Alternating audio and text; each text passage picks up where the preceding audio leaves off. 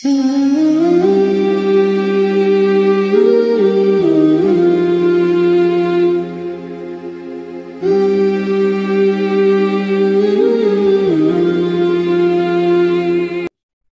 الرحمن الرحيم. الحمد لله رب العالمين. والصلاة والسلام على سيدنا محمد وعلى آله وصحبه أجمعين. أريد أن أذكر بداية بنقطتين في المحاضرة الماضية حول كلام ابن تيمية رحمه الله حيث قسم ابن تيمية الاختلاف إلى ما تذم به طائفتين ما تذم به طائفة اختلاف تنوع اختلاف تضاد. طلب مني أحد الإخوة أمثلة على اختلاف التضاد. بس للتذكير ما تذم به الطائفتين. وكقوله تعالى إن الذين فرقوا دينهم وكانوا شيعا لست منهم في شيء. وقال تعالى فأغرينا بينهم العداوة والبغضاء إلى يوم القيامة. وكقول النبي صلى الله عليه وسلم لنا أن هذه الأمة تفترق إلى 73 فرقة كلها في النار إلا واحدة. القسم الثاني ما حمد فيه إحدى الطائفتين كقوله تعالى ولكن اختلفوا فمنهم من آمن ومنهم من كفر. فالإيمان محمود عند الله سبحانه وتعالى. أما الاختلاف التنوع واختلاف التضاد اختلاف التنوع مثل اختلاف الفقهاء في بعض الأحكام الفقهية في مبطلات الصلاة بين الشافعية والحنفية والمالكية والحنابلة. هذا النوع من الاختلاف قال عنه أهل العلم الكل مصيب وإن كان هناك بعض أهل العلم بعض من أهل العلم قال المصيب واحد وسنأتي عليه. طبعا قولهم الكل مصيب كونه الكل يؤجر. والله عز وجل قال عندما قطع المسلمون بعض الأشجار في إحدى المعارك ما قطعتم من لينة أو تركتموها قائمة على أصولها فبإذن الله. والنبي صلى الله عليه وسلم أقر الذين اختلفوا في صلاة العصر عند انطلاقه لغزوة عند انطلاقه صلى الله عليه وسلم إلى حصن بني قريظة. لذلك قال أهل العلم اثنين مصيب إن أخطأ فله أجر وإن أصاب فله أجران والمصيب لا يعلمه إلا الله. وأجر المخطئ عند الله في اجتهاده أجر. أما أجر من يتبعه فأجره تام كامل لأن المصيب لا يعلمه إلا الله إلا إذا كانت الأدلة يعني واضحة وقوية متضافرة ورجح أهل العلم الفقهاء بين المصيب والمخطئ. أما اختلاف التضاد الذي طلب منا المثال عليه أهل العلم قالوا أن المصيب فيه واحد. في الحقيقة هذا يكون في العقيدة كاختلاف موقف السنة والشيعة من الصحابة واختلاف السنة والمعتزلة حول آيات الصفات. وقد يكون في في الفروع الفقهية هو في الحقيقة اختلاف تضاد. يعني عندما نقول هذه الصلاة من مسح ربع رأسه صلاته عند الحنيفية جائزة وهو أقل شيء. موضع الكف مثلا من الرأس بالآلة. ومن مسح ثلاث شعرات عند الشافعية صلاته جائزة. طبعا عند الحنفية صلاته غير جائزة. طبعا الفقهاء يجيزون التقليد لا مانع. لكن كحكم شرعي فيه تضاد. فلذلك بعض أهل العلم قالوا المصيب واحد. ولكن جمهور الفقهاء عفوا جمهور الفقهاء قالوا المصيب واحد. بعض أهل العلم قالوا أخطأنا مرة أخرى. جمهور الفقهاء قالوا الكل مصيب وبعض أهل العلم قالوا المصيب واحد. طيب سيدي أذكر بفكرتين مهمتين. من أهم الأفكار كانت خلاصة يعني المحاضرة السابقة أن هذه الفرقه الناجيه من سماتها الاستمرار. فهي مستمرة على نهج السلف. هذه السمة الثانية. من عهد الصحابة الكرام إلى قيام الساعة. بشهادة القرآن الكريم آه الذي قال والسابقون الأولون من المهاجرين والأنصار والذين اتبعوهم بإحسان رضي الله عنهم ورضوا عنه. وبقول النبي صلى الله عليه وسلم لا تزال طائفة من أمتي ظاهرين على الحق حتى يأتيهم أمر الله وهم ظاهرون.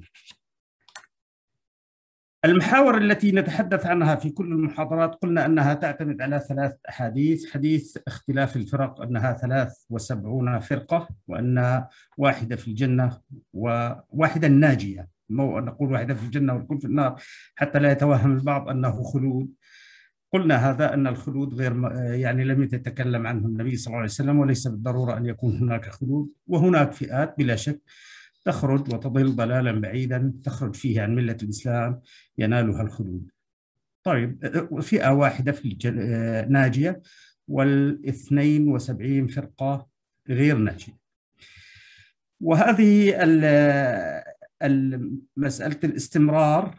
مسألة الاستمرار قول النبي صلى الله عليه وسلم لا تزال طائفة من أمتي على الحق حتى يأتي أمر الله وهم ظاهرون.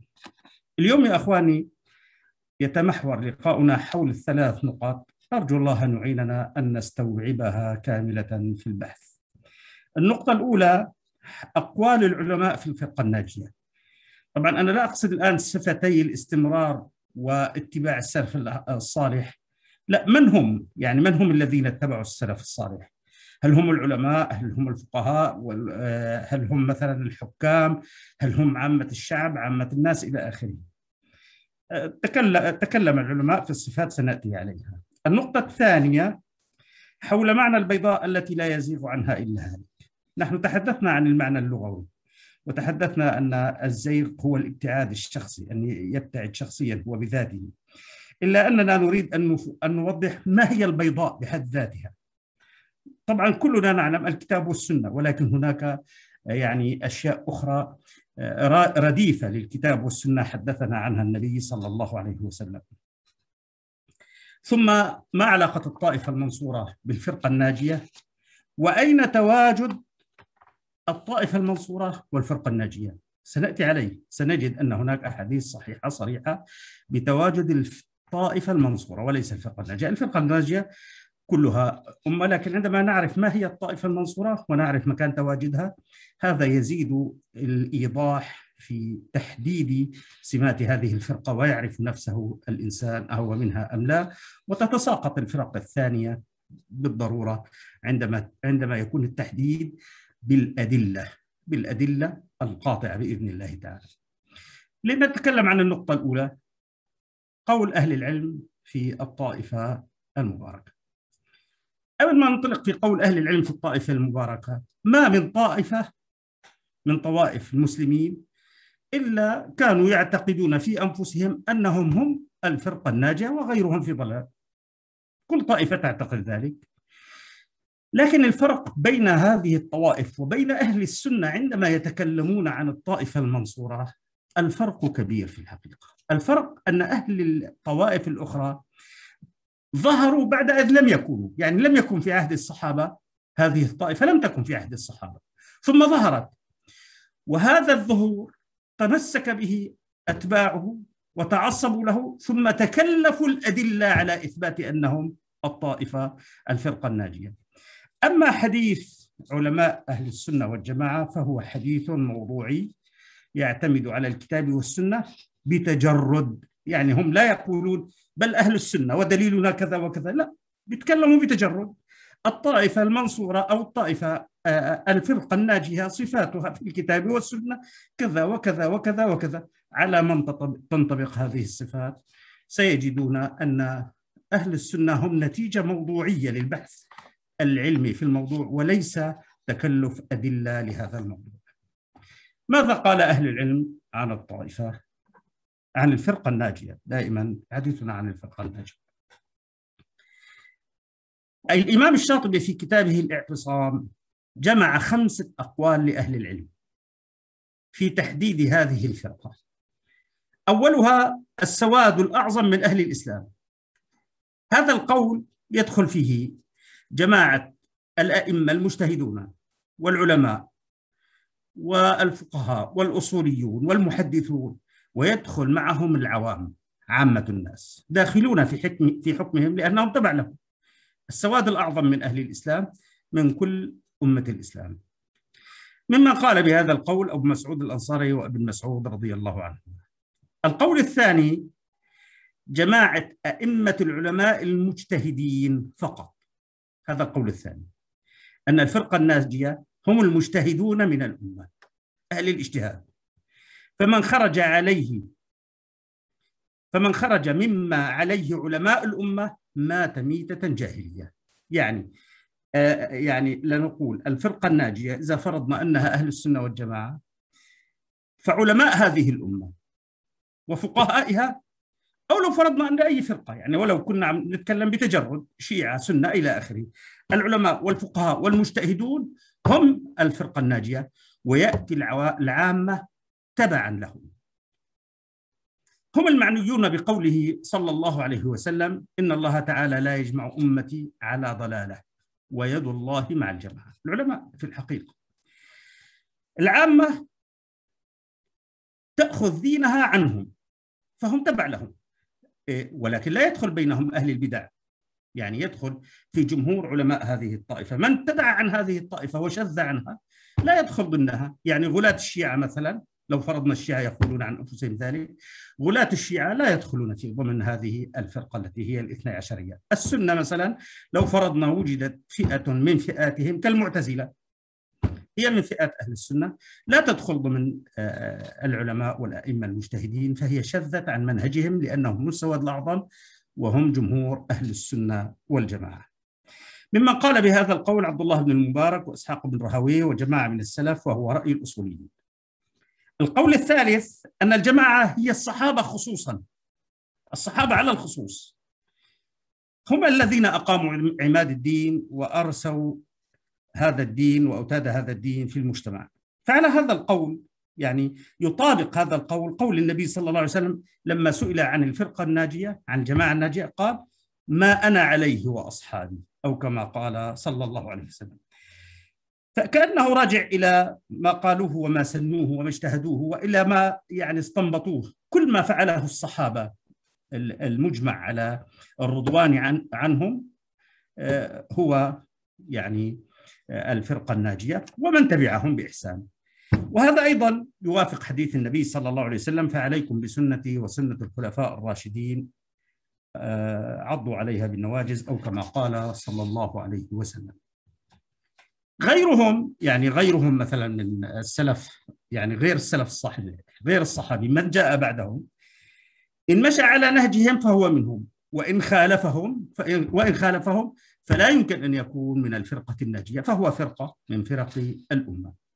ممن قال بهذا القول عمر بن عبد العزيز رضي الله عنه وهناك رواية عنه يقول سن رسول الله صلى الله عليه وسلم وولاة الأمر من بعده يقصد الصحابة.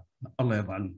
سننا. الأخذ بها تصديق لكتاب الله واستكمال لطاعة الله وقوة على على دين الله. ليس لأحد تبديلها ولا تغييرها ولا النظر فيها. طيب. القول الرابع إن الجماعة هي جماعة أهل الإسلام. إذا إذا أجمعوا على أمر فواجب على غيرهم من أهل الملل, الملل اتباعهم. وهم الذين ضمن الله لنبيه صلى الله عليه وسلم أن لا يجمعهم على ضلالة. يعني هذا القول هذا القول مثل إذا بنقول القول اللي قال هم أئمة المسلمين. الآن القول جمع المسلمين والأئمة إذا أجمعوا على أمر. يعني كل أهل السنة كل الملة إذا أجمعت على أمر. لذلك قال الشاطبي كأن هذا القول يرجع إلى القول الثاني الذي قال أنها جماعة أئمة العلماء والمجتهدين. أو يرجع إلى القول الأول أنه السواد الأعظم من الأمة. يعني هذا القول ضمن القول الأول أو الثاني. القول الخامس اختاره الإمام الطبري المفسر. أن الجماعة جماعة المسلمين إذا اجتمعوا على أمير. بس بايعوا خليفة؟ وصار في أمير للأمة؟ هدول هن من بايع هذا الخليفة؟ هم الفرقة الناجية وهم الجماعة. لأن من خالفهم يقول الطبري لأن من خالفهم لا يعدو إحدى حالتين إما للنكير عليهم في طاعة أميرهم والطعن عليه في سيرته المرضية لغير موجب بل بتأويل يعني خروج عن طاعة الأمير وإما لطلب إمارة من انعقاد البيعة لأمير أو إلى آخره يعني يطلبون لأنفسهم الإمارة. حاصل هذا القول وخلاصته أن الجماعة راجعة إلى الإجماع الاجتماعي على الإمام الموافق للكتاب والسنة. إذا بويع هذا هو القول عند الإمام. خلاصة الأقوال الخمسة يا أخواني. عندنا خمسة أقوال دائرة على اعتبار. إذا اعتبرنا أهل السنة والجماعة لحتى الآن لنكون موضوعيين أن أهل السنة والأتباع وأنهم مرادون بالحديث. إذا مشينا على هذا الجميع اتفقوا على اعتبار أهل العلم والاجتهاد سواء ضموا إليهم العوام أم لا. هذا أول كلام. وأن الاعتبار إنما هو بالسواد الأعظم يعني بنقول جمهور فقهاء المسلمين هذا الاعتبار. يعني مثلا يا إخواني لو فرضنا أن جمهور فقهاء المسلمين قالوا قولا في العقيدة وقال إمام من أئمة أهل السنة قولا آخر فالفرقة الناجية لنفرض أن القول مثلا خارج عن حدود يعني منهج السلف الفرقة الناجية هي جمهور. يعني ليس هناك بالضرورة أن يكونوا كلهم كلهم بدون استثناء ولا واحد منهم على رأي واحد إنما هو الجمهور. الاعتبار بالسواد الأعظم لهذه الأمة. فمن شز عنهم مات أو مات مات ميتة جاهلية. طيب وإن ضموا إليهم العوام. يعني آه، العوام ينضمون إليهم بحكم التبع.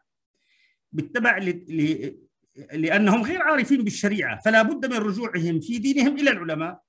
فإنهم لو تمالأوا يعني لو العلماء لو العامة اجتمعوا على أمر وتمالأوا عليه وخالفوا أهل العلم لا يعتبرون هم الفرقة الناجية لأنهم جهال. لا يمكن أن يكونوا هم الفرقة الناجية.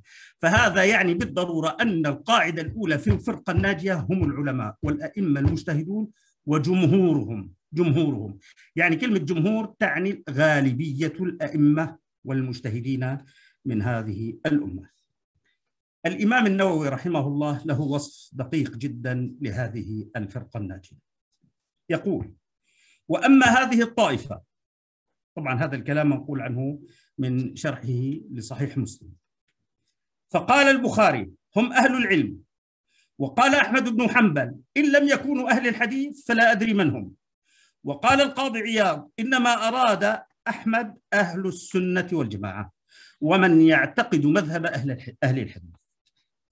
قلت يعني الإمام النووي ويحتمل أن هذه الطائفة مفرقة بين أنواع المؤمنين منهم الشجعان المقاتلون ومنهم الفقهاء ومنهم المحدثون ومنهم زهاد وآمرون بالمعروف وناهون عن المنكر ومنهم ومنهم أهل أنواع أخرى من الخير لا يلزم أن يكونوا مجتمعين بل قد يكونوا متفرقين في أقطار الأرض.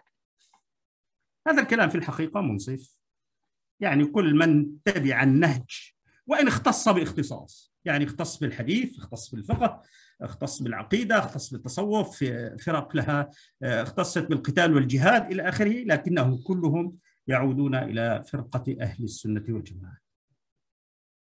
ابن حجر رضي الله عنه في فتح الباري بعد أن ذكر كلام الإمام النووي قال ونظير ما نبه عليه أي الإمام النووي ما حمل عليه بعض الأئمة حديث إن الله يبعث لهذه الأمة على رأس كل مئة سنة من يجدد لها دينها.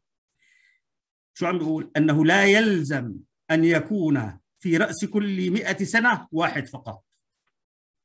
بل يكون الأمر فيه كما ذكر في في الطائفة. وهو متجه فإن اجتماع الصفات المحتاجة فإن اجتماع الصفات المحتاج إلى تجديدها لا ينحصر في نوع من أنواع الخير. ولا يلزم أن جميع خصال الخير كلها في شخص واحد إلا أن يدعي المدعي أن ذلك اجتمع في شخص عمر بن عبد العزيز رضي الله عنه فبالإجماع كان هو المجدد الأول بعد يعني القرون آه، القرن الأول والثاني القرن الأول بعد حياة الرسول صلى الله عليه وسلم. فعمر بن عبد العزيز رضي الله عنه كان القائم بالأمر على رأس المئة الأولى باتصافه بجميع صفات الخير وتقدمه فيها. ومن ثم أطلق أحمد أنهم كانوا يحملون الحديث عليه على سيد على عمر بن بن عبد العزيز رضي الله عنه. وأما من جاء بعده فالشافعي وإن كان متصفا بالصفات الجميلة إلا أنه لم يكن القائم بأمر الجهاد والحكم بالعدل. فعلى هذا كل من كان متصفا بشيء من ذلك عند رأس المئة فهو المراد سواء تعدد أم لا. يعني إذا قلنا الشافعي على رأس المئتين هو المراد في الفقه نقول جدد آه، في الأمة بالفقه وغيره جدد في الجهاد وغيره جدد في العقيدة وإلى آخره. طيب. النقطة الثانية ما معنى كلمة البيضاء؟ لأن لا أقصد المعنى اللغوي وتحدثنا عن أن البياض لون آه، يعني واضح إذا لم يختلط بغيره. طبعا إذا لم يمتزج وليس لم يختلط. فإن اختلط بغيره يتضح وإن يعني كانت بينه عدة ألوان. البيضاء بلا شك هي الكتاب والسنة. ولكن يا أخواني كل فئة تدعي الكتاب والسنة. الشيعة والسنة والمرجئة والقدرية والخوارج الكل يدعي الكتاب والسنة. لكن جاءت من رسول الله صلى الله عليه وسلم جاء في القرآن. ومن رسول الله صلى الله عليه وسلم ما يشير إلى اتباع نهج أناس معينين في فهم الكتاب والسنة. والسابقون الأولون من المهاجرين والأنصار. هذا النهج الذي اتبعوه منهج السلف الصالح في فهم الكتاب والسنة هو معنى البيضاء في كتاب الله وسنة رسول الله صلى الله عليه وسلم. ما يجي واحد مثلا آه، بعد 100 سنة ألاف السنين يفسر طيرا أبابيل بمرض الجدري مثلا. هذا كلام يعني لم يكن عليه السلف الصالح وما قاله السلف الصالح. ما ما مشى عليه السلف الصالح وثبت عنهم في نهجهم في فهم كتاب الله وسنة رسول الله صلى الله عليه وسلم هو المقصود. طيب من أهم معاني البيضاء التي لا يزيغ عنها إلا هالك توضيحه صلى الله عليه وسلم بأن الفرقة الناجية هي ما كنت عليه أنا وأصحابي. أو بقوله هم الجماعة. هاي أول توضيح. وتوضيح عظيم جدا لهذه الفرقة. وضحه النبي صلى الله عليه وسلم في توضيحه للطائفة المنصورة. الظاهرة على الحق. والتي هي جزء من هذه الفرقة الناجية. طبعا الجزء العلمي يعني مثل لما بنقول الخمس أقوال اللي حكينا فيهم بالبداية كان منهم الأئمة المجتهدون العلماء المجاهدون إلى هاي الفئة هاي في عوام. دعونا من العوام. هذه الفئة هي الطائفة المنصورة. تلك إذا جمعنا الجميع اسمنا الفرقة الناجية. إذا تحدثنا عن الطائفة المنصورة فنتحدث عن الطليعة الفكرية الجهادية العلمية في هذه الأمة. صلينا على رسول الله صلى الله عليه وسلم. إذا وصفه النبي وصفها النبي صلى الله عليه وسلم بدقة. كيف وصفها؟ وصفها بالاستمرارية في حمل لواء الدفاع عن الأمة في كل الميادين الفكرية والعلمية والجهادية ووصف مكانها صلى الله عليه وسلم. وهذا ما سنأتي عليه بعد قليل. هذا طبعا يجعلنا ننتقل إلى المحور الثالث وهو مكان هذه الطائفة. ما علاقتها بالفرقة الناجية؟ وأين هو مكانها أولا العلاقة بالفرقة الناجية في الحقيقة يعني تحدثنا عنها أنها هي يعني الطليعة الفكرية العلمية الجهادية في هذه الأمة. لما نتحدث عن الفرقة الناجية الطائفة المنصورة هي ضمن الفرقة الناجية. لما نتحدث عن يعني عن الطائفة المنصورة نتحدث عن أئمة الفرقة الناجية في كل مجالاتها. طيب يا أحباب الحديث الأحاديث التي أشارت إلى أماكن تواجد هذه الفرقة. طبعا الآن لما نقول هذه الفرقة لا تزال طائفة عفوا عن أماكن الطائفة لا تزال طائفة من أمة ظاهرين على الحق. نقصد بكلمة الحق هنا الحق المطلق. الحق المطلق في الدين. وما عليه جمهور فقهاء الأمة. ما عليه جمهور فقهاء الأمة. لكن ما رأيكم أن النبي صلى الله عليه وسلم أشار إلى مكان لتواجدها قبل ما نحكي بالمكان يا أحباب علينا أن نعرف. أن نعرف أن هذا المكان في الواقع ليس حصرا لها. هم ومن سار على نهجهم وعلى دينهم وعلى عقيدتهم منتشرون في كل الأمة. ولكن هذا المكان تميز عبر القرون لوحده أنه كان هو يعني طريقة جهادية مستمرة مستمرة لم تتوقف. لم يتوقف القتال في هذا المكان مطلقا ولم يتوقف الدفاع عن الدين في هذا المكان مطلقا وكان حمل لواء الدين دائما في هذا المكان آه، قويا جدا. شوفوا يا إخواني هذا المكان آه، ذكره البخاري وذكره كثير من أهل العلم وأنا سأروي فيه يعني أكثر من عشرة أحاديث عن رسول الله صلى الله عليه وسلم. وحتى لا أطيل سأقرأها. ثم نأتي على المعاني العامة.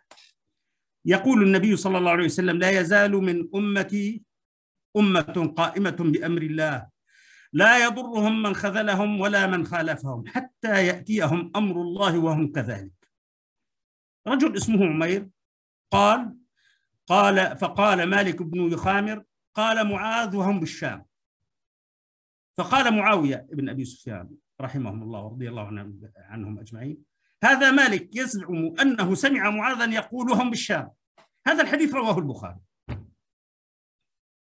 وعن زيد بن ثابت الأنصاري رضي الله عنه قال سمعت رسول الله صلى الله عليه وسلم يقول يا طوبى للشام يا طوبى للشام يا طوبى للشام قالوا يا رسول الله وبما ذلك؟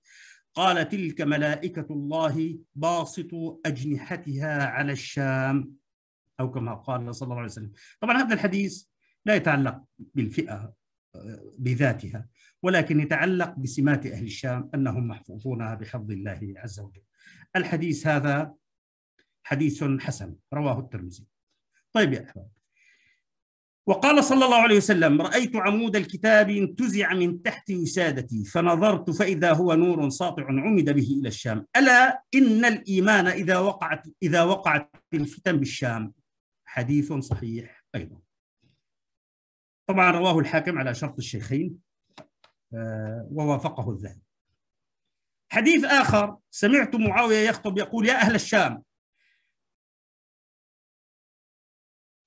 حدث عن زيد بن أرقم أن رسول الله صلى الله عليه وسلم قال لا تزال طائفة من أمتي على الحق ظاهرين وإني لأرجو أن تكونوا هم يا أهل الشام. هذا الحديث رواه أحمد. رواه أحمد وتعليق آه، الأرناؤوط مرفوعه صحيح. يعني وإسناده ضعيف. يعني هذا الحديث بهذا المعنى موجود في أحاديث صحيحة يعضد بعضها بعضا إلى درجة الصحة. حديث عن أبي هريرة رضي الله تعالى عنه هذا الحديث ضعيف. سأقوله حديث ضعيف. ولكن فيه إشارة قوية جدا.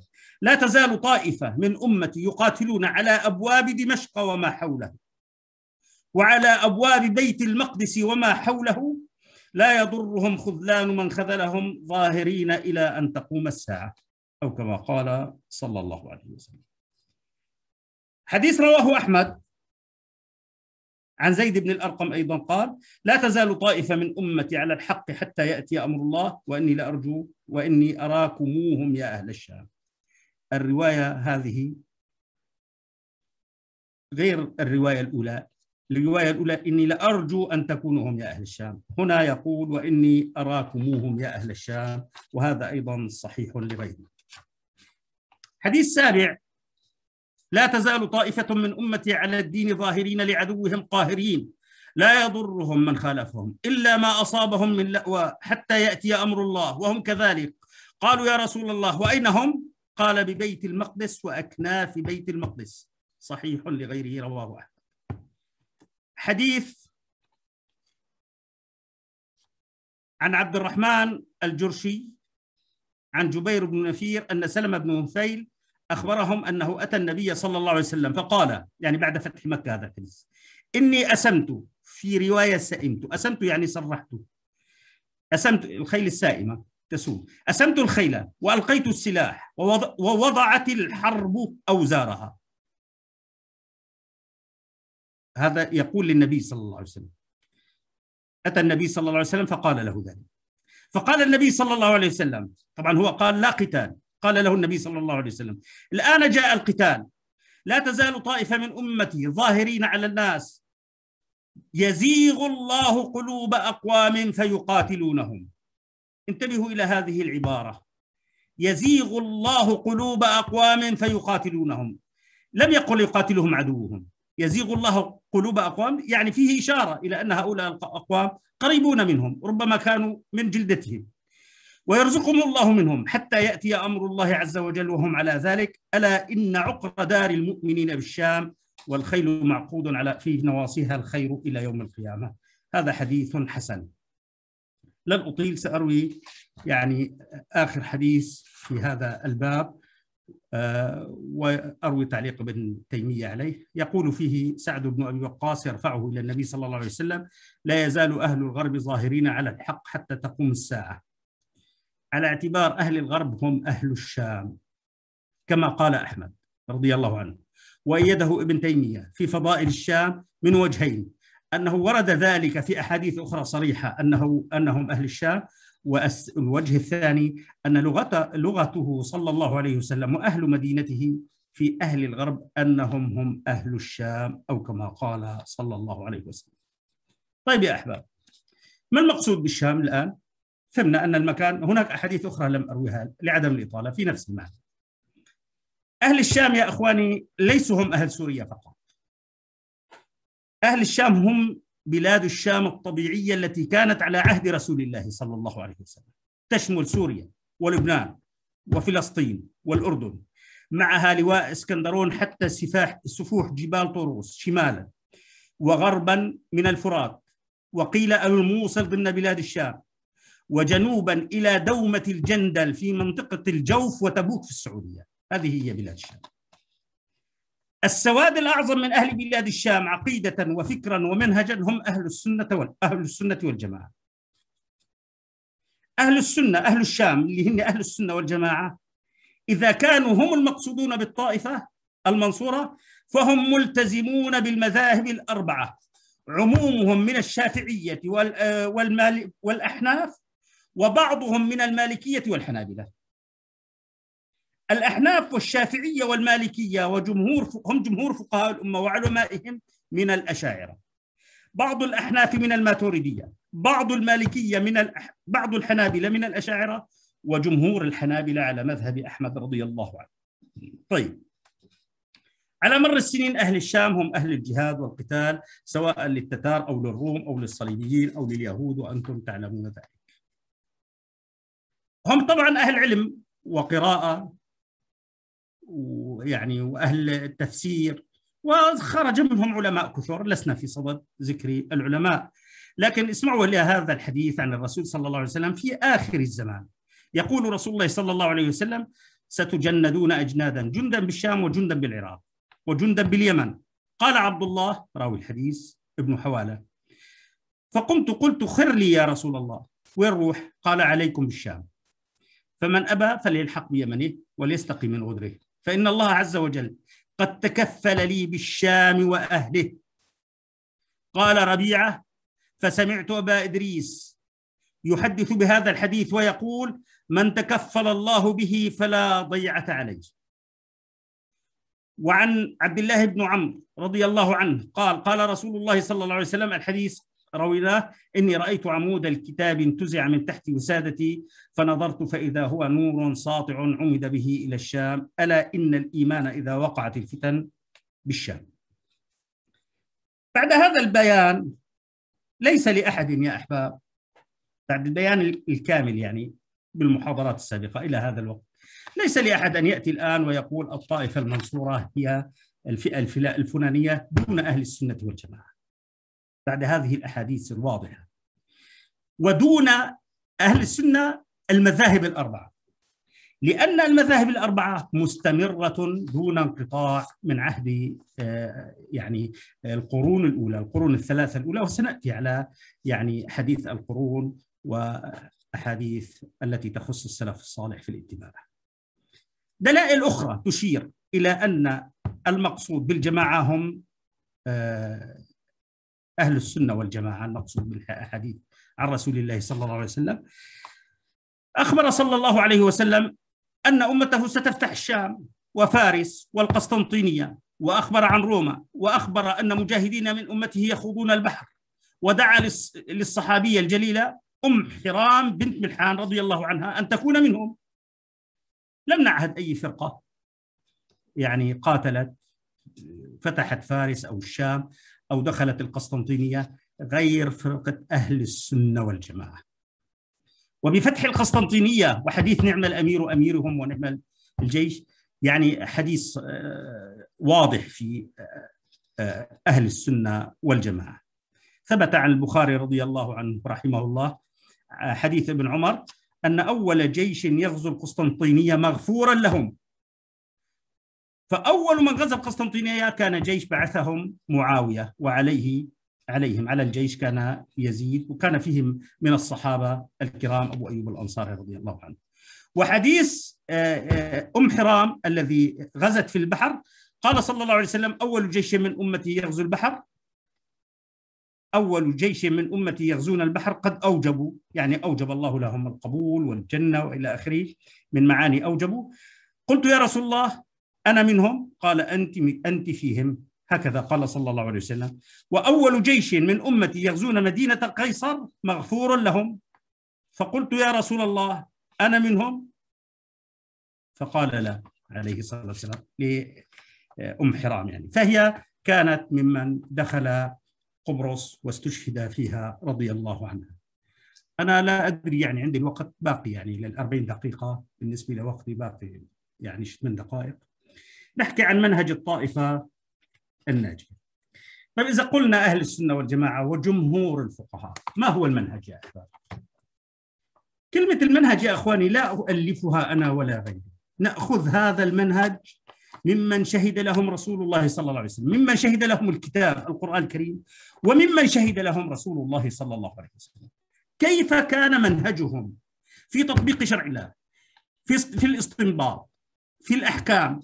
في المستجدات من الأمور هذا هو نهج الفرقة الناجية والطائفة المنصورة وتكرر لدينا كثيرا نكاد وإن شاء الله نكون حفظناها قول الله تعالى والسابقون الأولون من من المهاجرين والأنصار والذين اتبعوهم بإحسان رضي الله عنهم ورضوا عنه. السابقون الأولون من المهاجرين والأنصار استمروا بعد رسول الله صلى الله عليه وسلم، هم الخلفاء الراشدون. طيب ماذا كان منهجهم؟ كيف تعاملوا مع الكتاب والسنة؟ ماذا كانت علاقتهم ببعضهم البعض؟ هل هناك من كفر بعضه من كفر آخر منهم يعني؟ اختلفوا فقهيا. هل كان الاختلاف افتراقا؟ فأصبح كل واحد منهم فرقة ويمشي في اتجاه يخالف الاتجاه الآخر كشيعة وسنة ابدا. كانوا منهجا واحدا رضي الله تعالى عنه. وقال صلى الله عليه وسلم تركتكم على البيضاء ليلها كنهارها لا يزيغ عنها إلا هالك. ومن يعش منكم فسيرى اختلافا كثيرا فعليكم بما عرفتم من سنتي وسنة الخلفاء الراشدين المهديين. وعليكم بالطاعة وإن عبدا حبشيا عضوا عليها بالنواجز يعني عضوا تمسكوا بسنة النبي صلى الله عليه وسلم وسنة الخلفاء الراشدين. هذا جيل الصحابة. ثم قال صلى الله عليه وسلم الأجيال التي تأتي بعدهم التي نأخذ المنهج منها أوضحها لنا صلى الله عليه وسلم بأوضح دلالة حتى تظهر البيضاء يعني ساطعة كضوء الشمس. تركتكم على البيضاء.